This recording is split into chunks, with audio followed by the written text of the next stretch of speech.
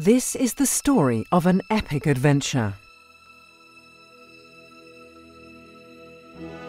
A story of cosmic curiosity, courage, and perseverance. The story of how Europe went south to explore the stars.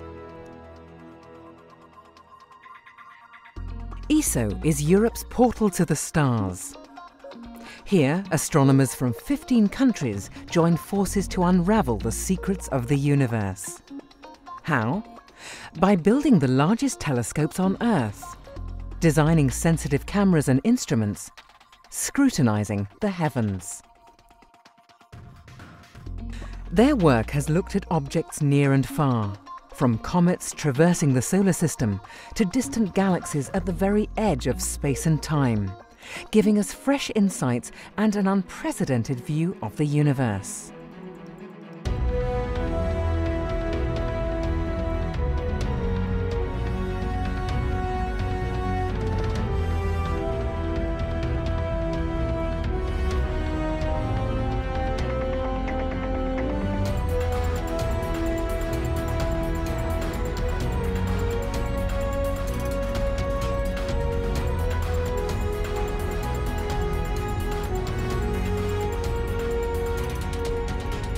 A universe of deep mysteries and hidden secrets, and staggering beauty. But the exploration of the southern sky still took lots of courage, passion, and perseverance. The telescope is, of course, the central tool that allows us to unravel the secrets of the universe. Telescopes collect far more light than the unaided human eye, so they reveal fainter stars and let us peer deeper into space. Like magnifying glasses, they also show finer detail. And when equipped with sensitive cameras and spectrographs, they provide us with a wealth of information about planets, stars and galaxies. The VLT is ESO's flagship facility. Four identical telescopes joining forces on top of Cerro Paranal in the north of Chile. Built in the late 1990s, they provided astronomers with the best available technologies.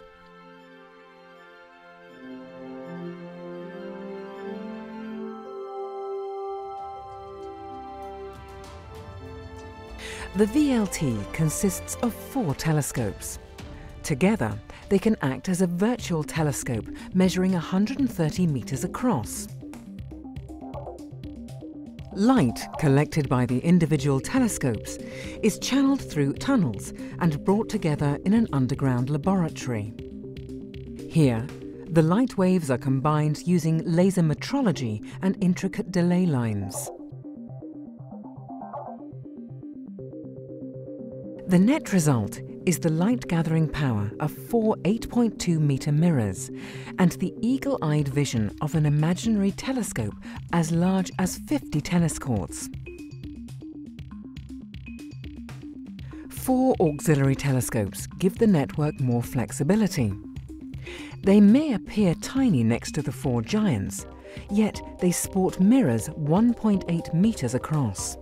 That's bigger than the largest telescope in the world just a 100 years ago. ESO closely cooperates with industry in both Europe and Chile. Access roads had to be constructed. Mountain tops had to be levelled. The Italian industrial consortium AES built the main structure of the four VLT telescopes. The German glass company Schott produced the delicate VLT mirrors. At REOSC in France, the mirrors were polished to a precision of a millionth of a millimetre. Meanwhile, universities and research institutes across Europe developed sensitive cameras and spectrometers. And throughout the world, the European Southern Observatory contributes to exhibitions and science fairs. Countless ways to participate in the discovery of the cosmos. But in terms of outreach, nothing beats the universe itself.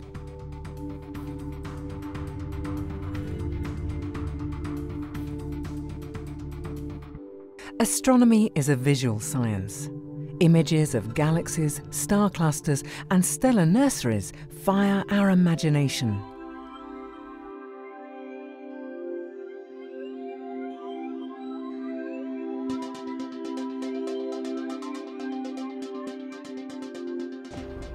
ALMA is a joint project of Europe, North America and East Asia.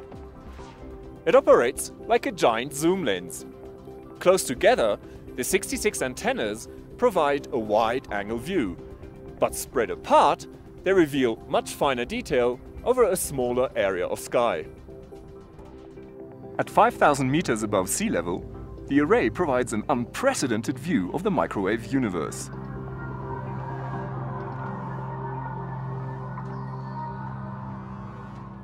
But what will it reveal? the birth of the very first galaxies in the universe in the wake of the Big Bang. Cold and dusty clouds of molecular gas, the stellar nurseries where new suns and planets are born. And the chemistry of the cosmos. ALMA will track down organic molecules, the building blocks of life.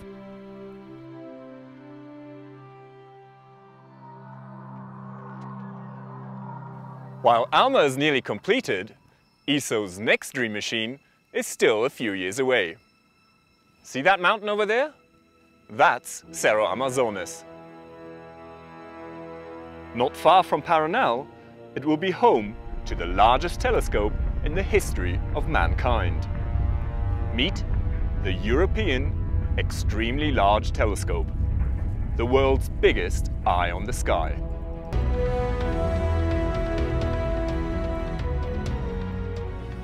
Is there life beyond Earth? What's the origin of the universe? ESO's new Monster telescope will help in our quest to understand. We're not there yet, but it won't take long. So what's next? Well, no one knows, but ESO is ready for the adventure.